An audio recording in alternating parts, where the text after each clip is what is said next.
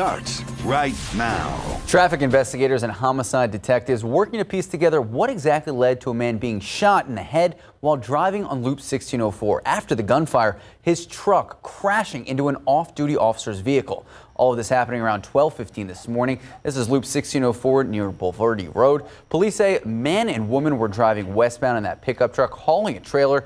That's when another vehicle pulled up next to them, shooting the victim in the head. Uh, the truck eventually crashing into an off-duty officer's vehicle. The officer working construction traffic in the area, they were able to get out of the way before the wreck. As for the couple in that pickup, the man who was shot in the head pronounced dead on the scene. The woman in the passenger seat taken to a nearby hospital with minor injuries. Right now, no suspects yet in custody. San Antonio police investigating how an argument ended up with one person stabbed in the neck overnight. SAPD says it happened just before midnight on the southeast side in the 500 block of Hot Wells. That's near South New Braunfels. Police say the two roommates were arguing when one of them stabbed the other one in the neck. SAPD says each roommate claims the other one started the argument. The victim taken to the hospital in stable condition. No word on any arrests or charges so far. And San Antonio police and Crime Stoppers asking for your help finding a person responsible for a murder that happened just last month. Police tell us around 9:15 on Sunday, May 31st, Charles Pryor was standing outside in the 3400 block of Action Lane, that's on the southwest southeast side, when a vehicle pulled up with several suspects inside. Those suspects began shooting at Pryor pronounced dead by the front door of his home. If you have any information that could lead to the arrest of the people responsible for this murder, you are asked to call Crime Stoppers. That number on your screen right now, 210-224-STOP. And Crime Stoppers also looking for the person involved in an aggravated assault. Police say it happened around 3:30 in the morning 2 weeks ago on Saturday, June 6th at Wood Lake Parkway and Ben Binz-Engleman Road. Bexar County Sheriff's deputies were helping a stranded motorist at that intersection, and that's when they heard seven gunshots. They also heard the bullets flying near their heads, almost hitting them. The deputies believe the shots came from a vehicle traveling near the intersection of Wood Lake and Binz-Engleman. If you have any information on either of these cases, you're being asked to call Crime Stoppers at 210 224 STOP. And investigators with the U.S. Army increasing the reward to 25 $1,000 for any information about missing Fort Hood soldier Vanessa Guillen. The 20 year old last seen April 22nd in a parking lot at Fort Hood. Investigators say her car keys, room key, ID card, and wallet later found in the armory room.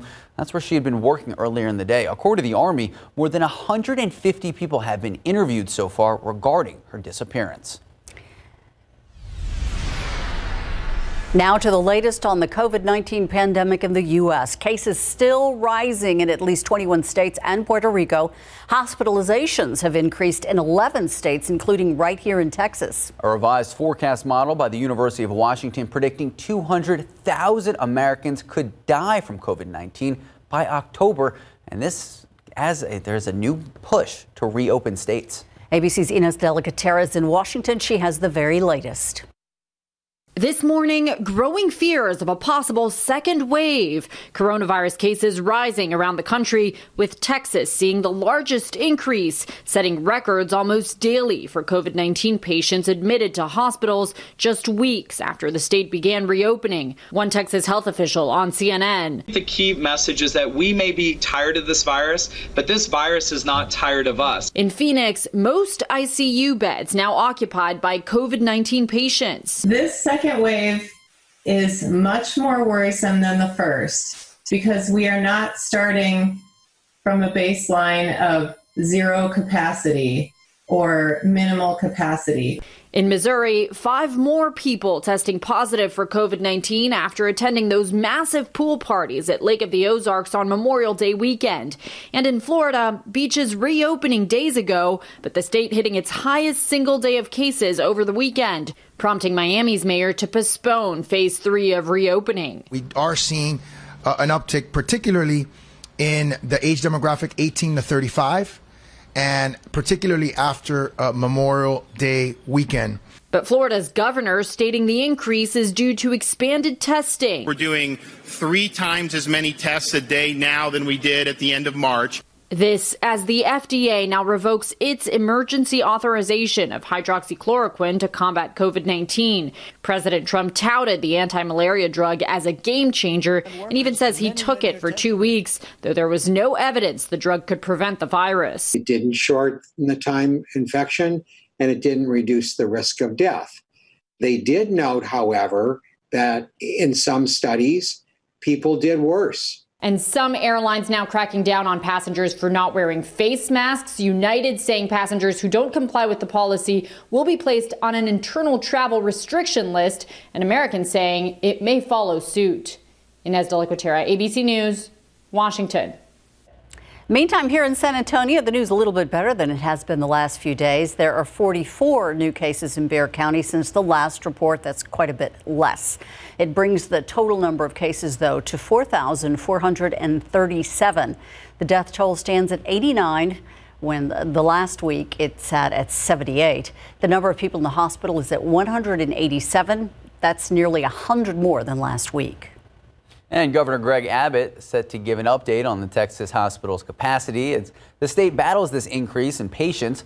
Texas health officials reported a one day high in the number of hospitalizations of patients just yesterday. Governor Abbott expected to speak today at 1 o'clock right after the news at noon. We're going to be streaming the conference right here on KSAT, make sure to stick with us for the latest on the pandemic here in the Lone Star State.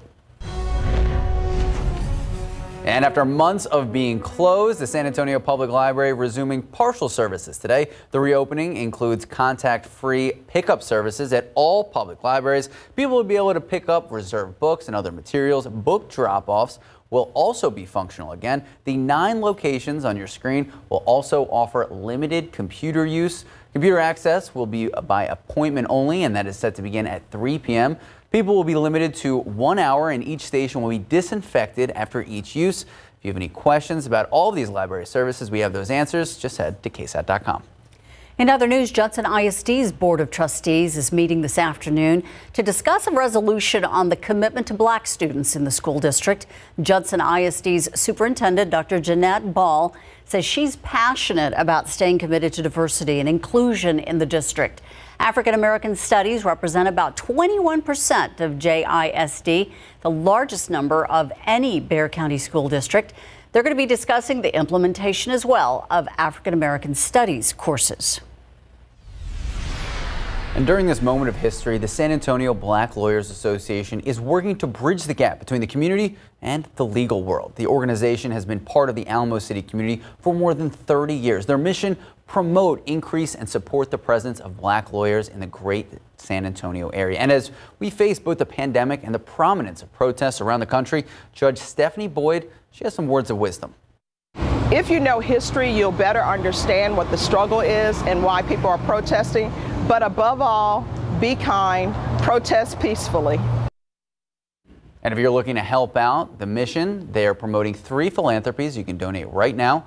The San Antonio Black Lawyers Association Scholarship Fund, Youth Transitioning into Adulthood, and Children's Court. We'll be right back.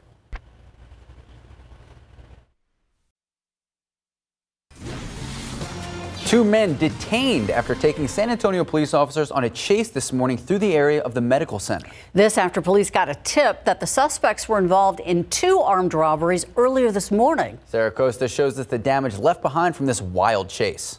A damaged Jag work truck and a popped off wheel from the suspect's pickup truck. It's what's left from the scene and where it ended at Lamb and Medical, but there's so much more to this chase.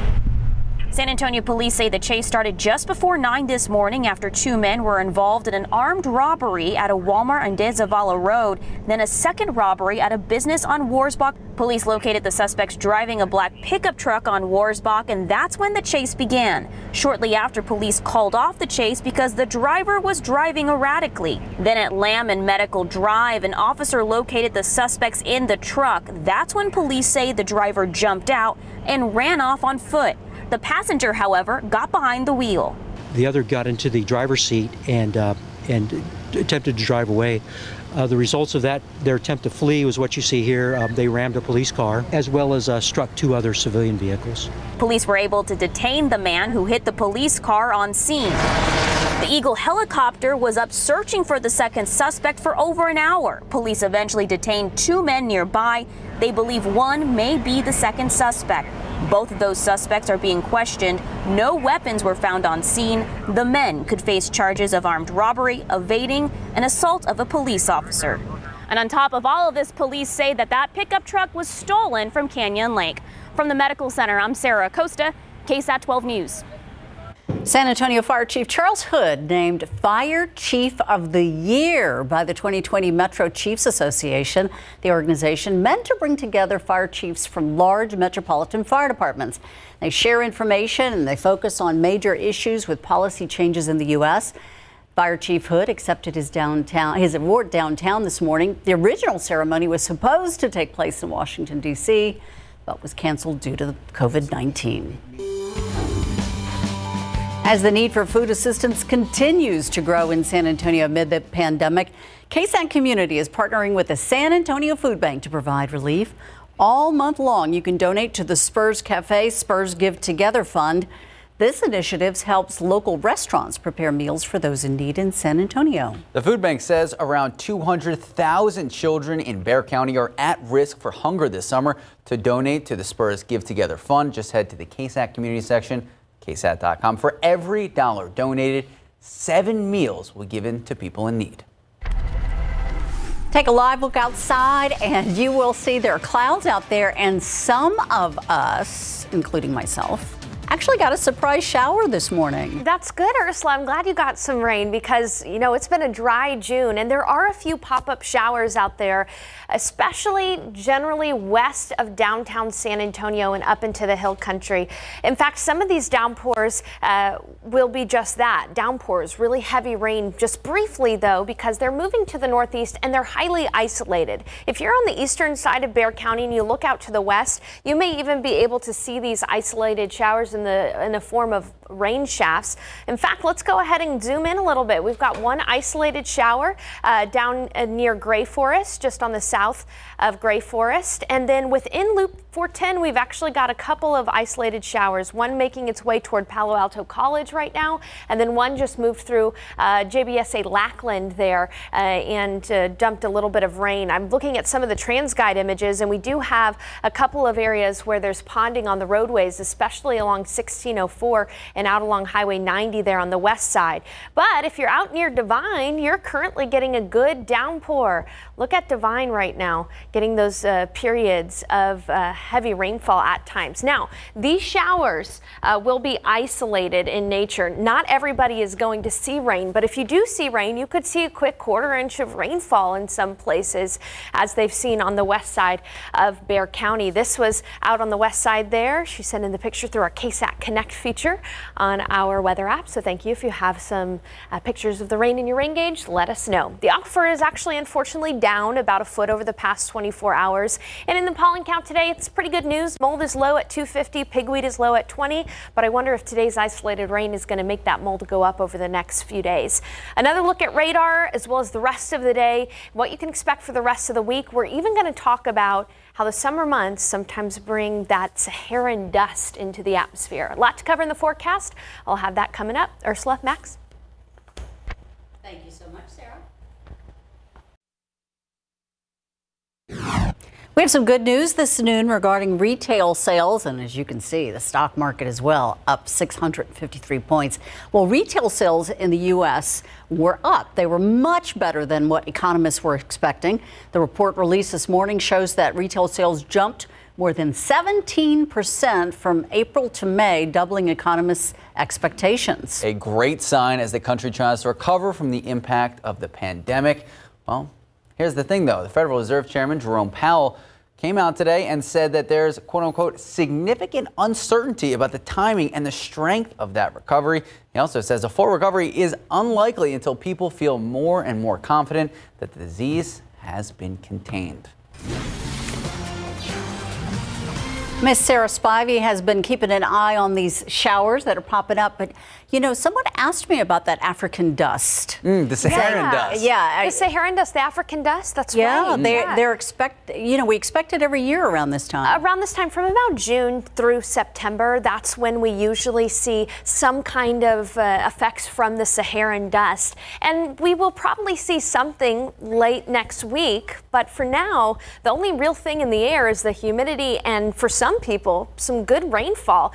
There's been a steady swath of rain, generally west of I-10 and west of I-37 for a good portion of uh, the KSAT 12 viewing area. However, if you're east of San Antonio, you just haven't seen much uh, today. We do have some heavier areas of rain, particularly right now near Devine. Uh, and uh, again, there's no lightning with these. These are just your pop-up showers thanks to the humidity and a little bit of weakness in the upper levels of the atmosphere. Uh, but in, on the west side of town, we've actually seen a decent amount of rain in some places. In fact, I'm going to go ahead and turn on the six hour rainfall totals, at least radar estimated rainfall. And you can see that in some places, we'll zoom in a little bit more, especially along the outer bank there of Loop 1604 on the western uh, side of that. We've seen in some places Radar estimated rain of about half an inch.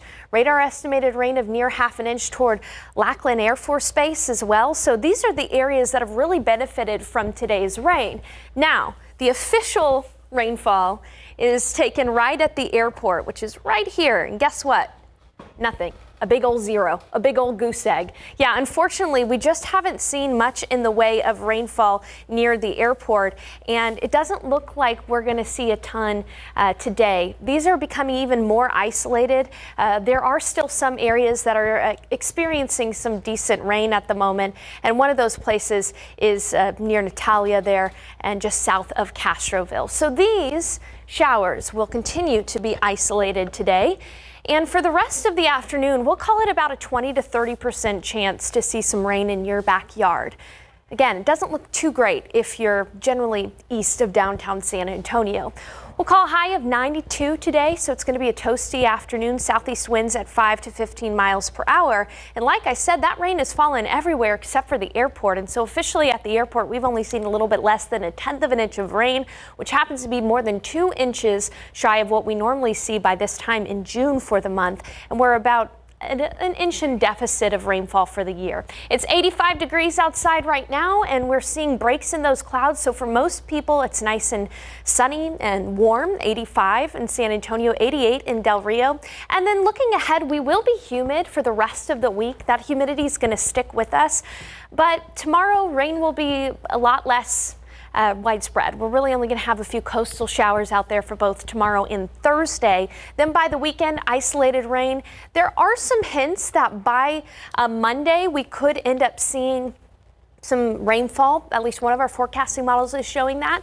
But another thing the forecasting model is showing is that the trade winds are going to end up picking up that Saharan dust. And by the middle to the end of next week, we could have some dust in the atmosphere, which would cause complications for people who suffer from respiratory issues like asthma. So we'll keep an eye on that for you. As always, in the summer months, we're the heat monitors and we're also the African dust monitors. So.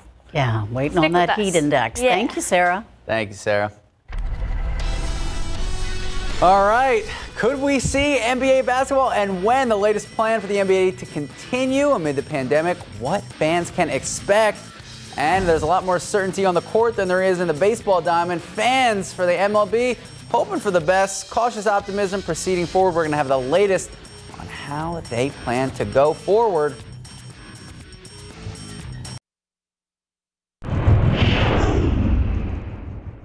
They play? That is the question when it comes to the MLB. Originally, the commissioner came out telling the players and fans there would be a 100% chance of having a 2020 season. Since then, he walked that back after negotiations with the Players Association of what the shortened season could look like, saying that he's not so sure we're going to see MLB this year anymore. The Players Associated is livid, issuing a statement saying, in part, quote, this latest threat is just one more indication that Major League Baseball has been negotiating in bad faith since the beginning. This has always been about extracting additional pay cuts from players, and this is just another day and another bad faith tactic in their ongoing campaign. Important to mention, though, the league has already revealed several players on big league rosters testing positive for COVID 19. And from the baseball diamond to the basketball court, a plan to finish out the 2020 season for the NBA is in place, but more and more players trying to get out of the restart. Right now, the plan is for the NBA to have 22 teams to return to play. All of this starting July 31st, and all of it is going to be inside a dome at the ESPN Wide World of Sports Complex. Disney World in Orlando, Florida. The Spurs, though, remember, they are one of those teams that are invited, one of the 22 fighting for a final playoff spot. So here it is, the final total of 22 teams, 16 teams in a playoff position, plus those within six games of the eight seed, allowing teams to ramp up ramp up regular season games before the playoffs. A training camp set to start June 30th and last a week. All teams set to fly to Orlando on July 7th three weeks before the start of the season. And if all goes well, Game 7 of the NBA Finals will be no later than Monday, October 12th. With the season set to start on July 31st, that means the remainder of the season would be at most completed in no more than 74 days. And if there is no need for play-in tournaments to establish that last seed, hopefully the Spurs make it. Cautious optimism going forward. The start of the playoffs could be moved up several days. And from the basketball court to the newly announced nominee class for the 2021 class of College Football Hall of Fame. Along with former coach Bob Stoops, a lot of big names on this list. Georgia cornerback Champ Bailey, Miami quarterback Ken Dorsey, Syracuse defensive end Dwight Freeney, and Florida State kicker Sebastian Janikowski. We all know Ray Lewis from Miami. Stanford receiver Ed McCaffrey, his son. He's pretty good. He's all right. USC quarterback Carson Palmer and North Carolina defensive end Julius Erving. Just oh. kidding, Julius Peppers. What about Joe Burrow? Joe Burrow they, they got to wait a little bit. He's got to ah. wait a little bit. Yeah, there's like a finite period you have to wait until you're announced. But you know what? He's a Heisman winner. He's a national champion. I'm sure he'll be in there in a few years. Slam dunk. Absolutely. Thank you. The Democratic National Committee has launched a new tool that will help voters who may have been removed from the polls for being inactive. How many people this effort will be affecting? And 911 calls released in the latest murder case in Atlanta. We're going to have the details after the break.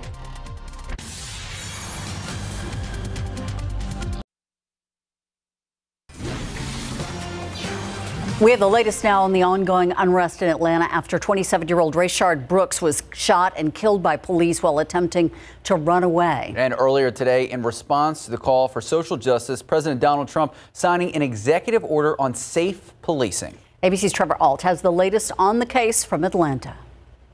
Authorities in Atlanta have now released the 911 calls from a Wendy's parking lot where Rayshard Brooks was shot and killed by police Friday night. I have a car. I think he's intoxicated.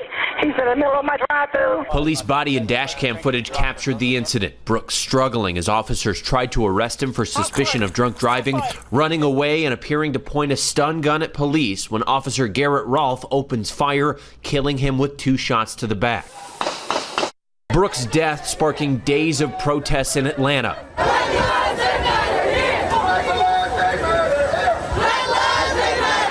The district attorney is expected to announce if there will be charges in the next few days. The Brooks family is calling for the officers involved to be arrested.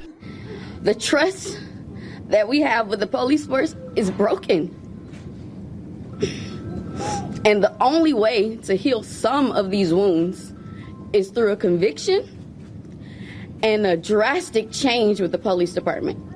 The city fired Officer Rolfe on Saturday, and Atlanta Mayor Keisha Lance Bottoms is announcing a new list of police reforms. She's requiring officers to use de escalation methods before turning to deadly force. It is clear that we do not have another day, another minute, another hour to waste.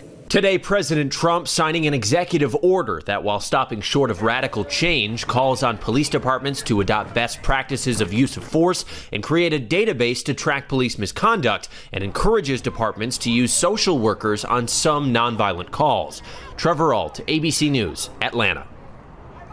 And the Democratic National Committee launching a new effort today to help people get out and vote. The DNC developing a new tool aimed at voters who may have been removed from the polls for being inactive.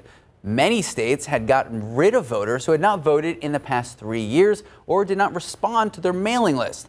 Now, state officials defend the purge as a means to prevent fraudulent voting. Critics say it has had the effect of denying voting rights to younger voters and minorities. The DNC says the tool will help them contact people who may not know they are ineligible to vote and help them to re register. It estimated that nearly 16 million voters were removed from the rolls between 2014 and 2016 alone. Take a look at this. Firefighters in New Mexico are busy battling flames near Durango. The East Canyon fire has grown to more than 1,200 acres. It's forced people to evacuate the area. The fire has spread quickly and temporarily closed down a major highway that's nearby. And heading on over to Arizona, hundreds of firefighters still busy putting out the flames of the Bighorn fire. It has consumed more than 14,000 acres. The fire started June 5th after thunderstorms helped ignite the flames. Firefighters are making some progress. Bighorn now 30% contained. Three people have suffered minor heat related illnesses. And back here at home, let's take a live look out of the Alamo City. 85 degrees, but I promise I was out there with an interview earlier. They were sweating, I was sweating. They looked at me and said, it's got to be in the 90s. Uh, not yet. Not yet, but it will be this afternoon, and it feels a lot warmer than it is outside because of the high humidity.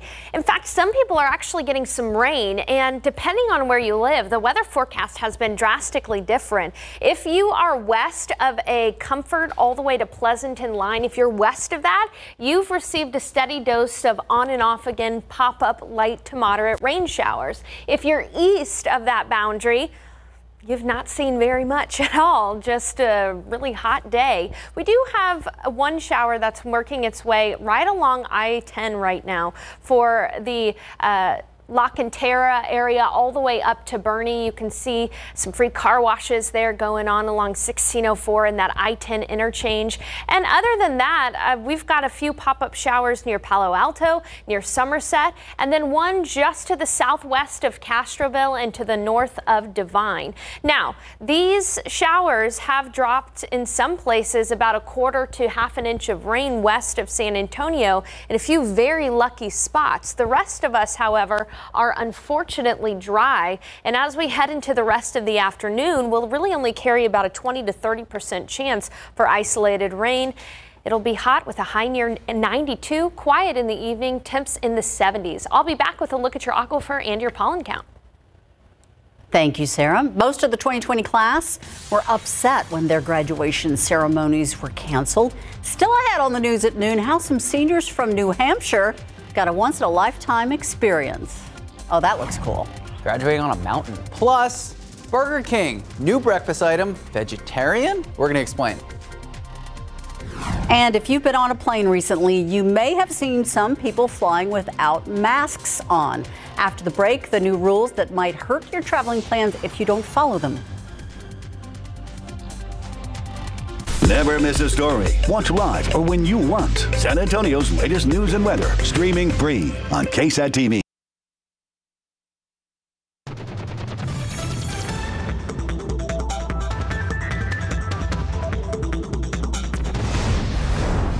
And in your consumer news, airlines enforcing stricter rules when it comes to traveling amid the pandemic. United Airlines says they're going to start banning passengers who refuse to wear face masks. The airline plans to roll out the new policy this Thursday. The policy will require flight attendants to ask passengers whose faces are not covered to use a mask. Those passengers will be offered a mask they don't have their own. But if they still deny it, they say no, their names will be put on an internal restriction list when they reach their destinations. United flights could be off limits to those passengers, at least for a while. American Airlines announcing a similar policy just last night.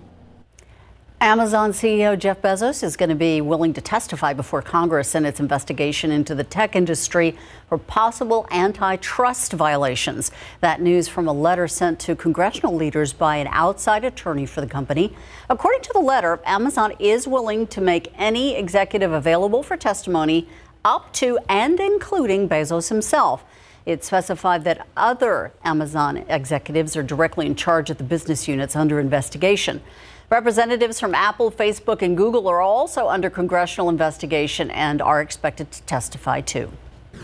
And Burger King releasing its first meal for vegetarians, the Impossible Croissant, which has been far has been so far available in only select markets. It contains a plant-based sausage substitute served on a croissant, along with eggs and melted American cheese. The sausage, made by Impossible Foods, specializes in plant-based meat substitutes. Get this though, Burger King giving away up to a hundred thousand Croissan'wich to promote the launch. The promotion available only on Burger King's app. It is available nationwide at participating Burger King restaurants at a retail price of $3.99.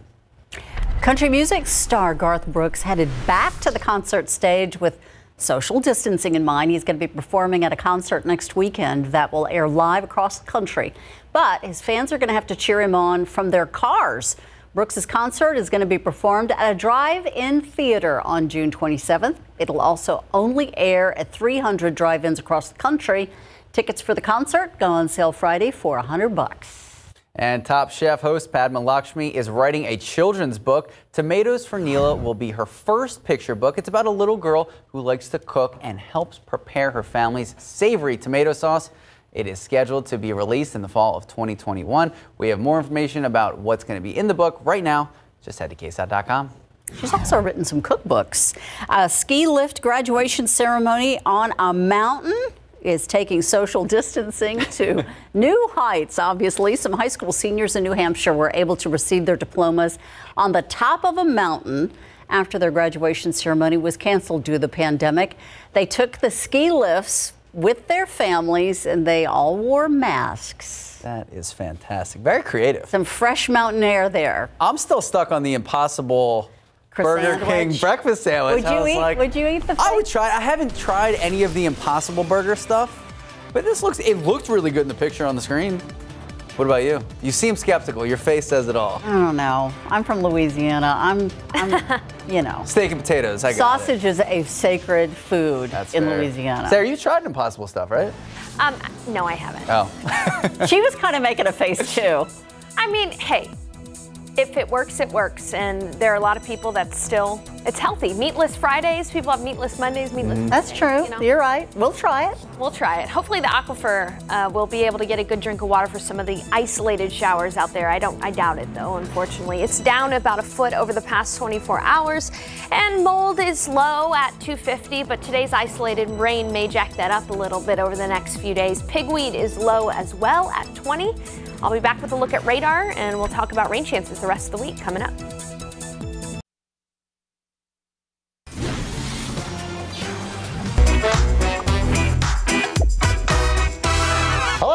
This is your daily tech and business briefing from Cheddar.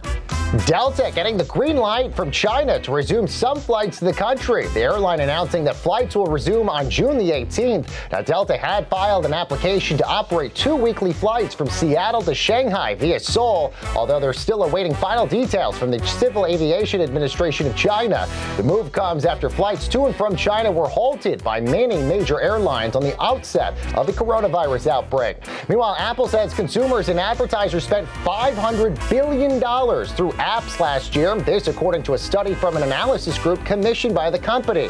The hefty amount includes both transactions that Apple handled directly, like paid apps, as well as purchases that occurred through apps where Apple is not directly involved, like Uber. The estimate doesn't include revenue from Apple's own app subscriptions, like Apple Music. And 24 Hour Fitness officially filing for bankruptcy, closing roughly 100 gyms in its wake. The national chain is citing the coronavirus as the cause, which forced its locations to shut down for months on end. In their Chapter 11 filing, the company says they've secured $250 million in funding to help reopen at least 300 of their clubs. And that's your Cheddar Business and Tech Update. I'm Baker Machado, coming to you from New York City. Any plans to fly? Um, no, but No? lots of driving. Lots of. Driving. Where are you going? I, I'm, I'm going to go to South Padre where they, they I think in, we were just talking about this in Port Aransas, they just caught a huge shark. Yikes. Off the coast of Port A. Oh my goodness. And so we're headed to the coast, and uh, yeah, I'm a little some shark. I'm a little nervous. I, I know the temperatures for the water are pretty happy Yeah, they're uh, pretty for sharks. warm up there, down there, uh, Ursula. So, yeah, we'll, we'll keep away the sharks. No sharks in your forecast, Ursula. Um, but we are seeing a few pop-up showers out there, especially continuing to see uh, them generally west of downtown San Antonio, kind of along an I-10 and uh, I-37 line there. Uh, that's where most of the rain has been today. It's been a steady swath of pop-up uh, isolated showers. There is no lightning whatsoever with these downpours, and so we don't have to worry about any kind of severe weather of any means. These are just uh, free water sprinklers, if you will, for your front lawn because we are seeing a few of those showers that are a little heavier. I want to go ahead and zoom in uh, to Hondo right now. Hondo and Castroville, right along Highway 90 there. Seeing some uh, of that heavier, quick doses of rainfall from Hondo to Castroville. And then out toward San Antonio, out near Palo Alto College and JBSA Lackland, another passing shower. These areas have seen a decent amount of rain throughout the day today. In fact, I want to show you just how drastic the differences between those who have gotten rain and those who have not. We'll go ahead and we'll pause this and we'll look at the radar estimated rainfall totals over the last six hours. You can see very clearly that areas west of San Antonio, right along 410 there, and then out towards 1604, that's where the rain has been today.